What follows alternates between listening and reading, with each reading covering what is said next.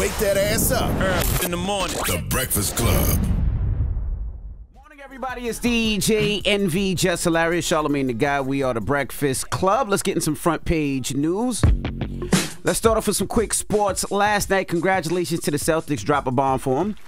They beat the, uh, the Dallas Mavericks 106-88, and Jaylen Brown was the MVP of the finals. Did you watch the game, Charlamagne? I did watch the game. Me too. Uh, Good drop- grade. yeah, the Celtics were great. I Celtics mean, looked amazing. Yeah, I mean, we, we, we knew that though. We knew the Celtics in in five at least against the Mavs, and um, very anticlimactic though. What you mean? It was nothing to it. It was just like, damn, it's the NBA Finals. That Like, was an easy game for them. I mean, that was an easy series. Yeah. It was an easy playoff run for the Celtics. They only lost three games in the whole playoffs. But that's why people feel like sometimes the NBA throws games. Because how they just lose by, what, 40 the night before? Two, two nights before? I don't know about them throwing games. Man, they lost by 40. There's no way that squad can lose by 40. I mean, it happens sometimes. People have bad games. You miss shots. All of them? Yeah, when you off, you off. White, Jaylen Brown. When you off as a team, you off as a team. When you on as a team, you on as a team. Jesus. And you got to think the Mavs. Think about the, the situation. The Mavs were playing with their back against the wall. They were at home in Dallas. What, 40? They were energized. It happens. I mean, it happens. How can that same team lose by 30? How can that same team lose by 20 plus? That just blew you out by 40. It Yeah, happens. But Boston's just an amazing team. But anyway, congratulations to Salute Boston. to the Celtics, but eh, the WNBA got way better storylines. I tell you that much. I don't care what y'all say, NBA. Y'all was kind of trash this year, they just thought, a tad was, bit. they thought it was going to be Kyrie and Kyrie going to Boston. And this, the storyline wise, NBA was kind of trash compared to what women's college basketball doing this year. I'm not gonna lie, the storylines are much better in the WNBA right now. That's just a fact. Well, good morning, Morgan. Good morning, y'all. So yeah, let's just go ahead and get into it because y'all done cut into my time. Sorry. No, I'm just kidding. Um, the White House is disputing the characterization of a video that critics say um, or show President Biden having to be led off stage. White House press secretary Karine Jean-Pierre is questioning the authenticity of these types of videos. Let's hear from the press secretary. We're seeing these deep fakes, uh, these manipulated videos, uh, and it is again done in bad faith. President Obama, President uh, Biden have a relationship. They are friends. They're like family to each other, and I think that's what you saw.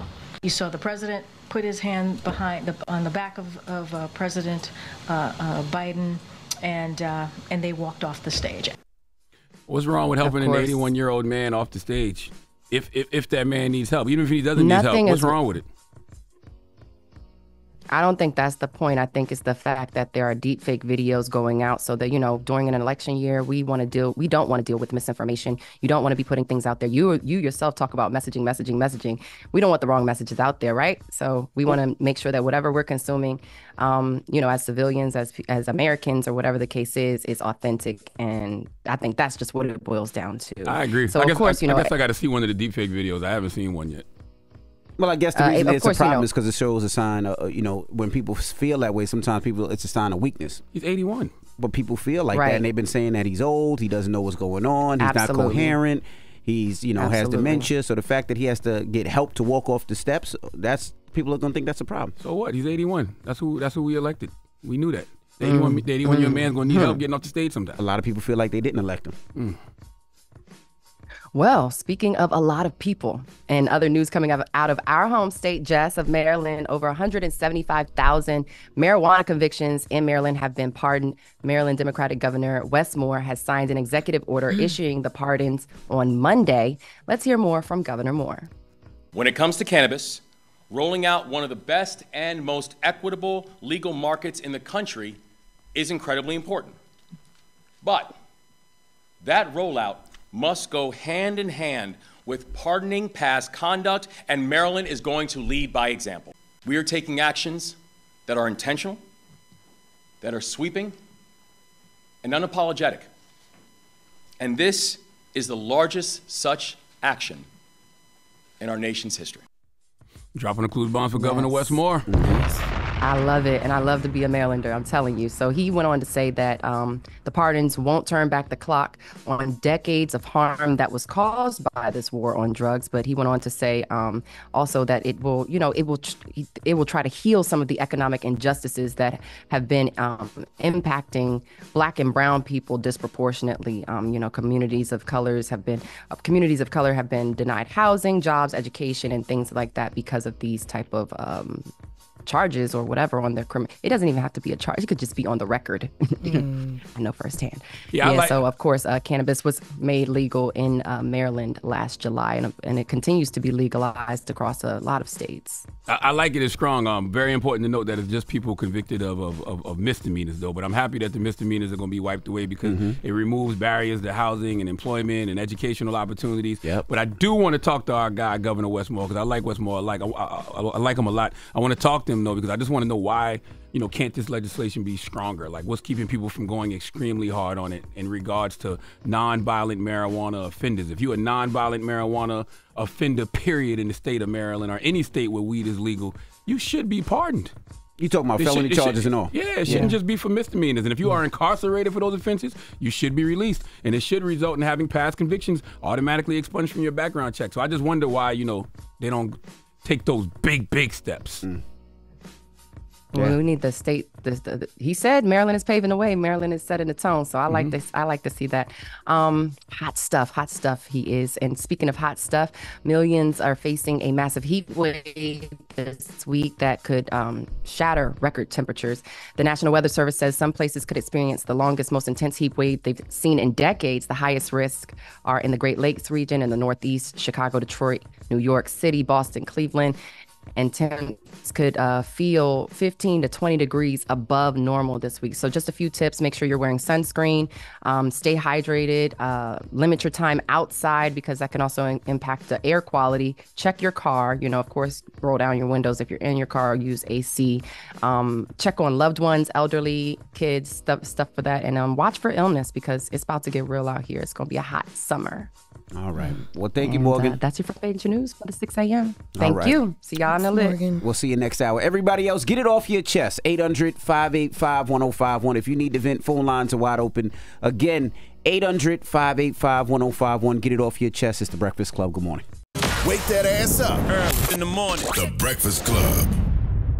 Morning, everybody. It's DJ Envy, Jess Hilarious. Charlamagne the Guy. We are the Breakfast Club. Let's get in some front page news. Again, last night, if you're just joining us, the Boston Celtics beat the Dallas Mavericks. They win the NBA championship. Congratulations to them. They won 106 to 88. Very anticlimactic uh, NBA Finals. I mean, the Boston Celtics only lost three games throughout the whole playoff, so they ran through everybody. But uh, like I said earlier, the WNBA got way better storylines, way better storylines than uh, the NBA. Yeah. All right. Well, what else we got, Morgan? Good morning. Good morning, Sheesh. I hope to impress with my storylines. Sheesh, Charlamagne. Um, New York Senator Chuck Schumer says he's going to push Congress this week to restore a ban on bump stocks. Now, Schumer argues the bump stock causes gun related tragedies across the U.S. Let's hear more from Senator Schumer. gun bump stocks, like the one that took so many lives of people in Las Vegas, risks public safety, risks public tragedies, will certainly cost human lives. So the bump stock allows a semi-automatic weapon to fire much quicker. As he mentioned, um, there was a bump stock used in that deadly Las Vegas um, mass shooting in 2017. Now, the Trump administration actually banned bump stocks following that mass shooting. However, the Supreme Court on Friday ruled that the federal ban on bump stocks is unlawful. Um, so, yeah, that's absolutely crazy. Um, meanwhile, June is National Gun Violence Awareness Month, and the Black Information Network has launched our firearms safety awareness campaign, Lock It, Store It. This comes as new federal um, a new federal study shows nearly half of all U.S. households are not storing their guns properly. The study published by the CDC looked at data collected from gun, o- gun owners across eight states, and it found that up to 43% of households stored loaded guns, which is not considered safe, while half of those households stored loaded guns did not put them in locked containers. So they need to be um, not loaded and, of course, stored in a like a safe or something like that. So the CDC says firearms are the leading cause of death of children in the U.S. So you guys gonna use them, you know, make sure you you're safe. You're safe. Yeah, I agree with the, the bump stocks. There's no way that those those uh you should be able to fire that many bullets at one. Uh, make a make a regular rifle semi-automatic. That that's very dangerous. Yeah, for, sure. Um, so switching gears, let's go back to sports. Um, you know, make things a little more lighthearted. The NFL's popular docu series Hard Knocks this season will um feature an entire division for the first time. So, Hard Knocks in season, the league announced all four AFC North teams will get spotlight. Cameras will follow the Baltimore Ravens, yes, Cincinnati Bengals, Cleveland Browns, and Pittsburgh Steelers for you, Jess, I guess. Um, and during the regular season. so last season, the AFC North became the first division to have all of its teams finish with winning, records. Hard Knocks in season with the AFC North will premiere on HBO and Max in December. Look forward to that.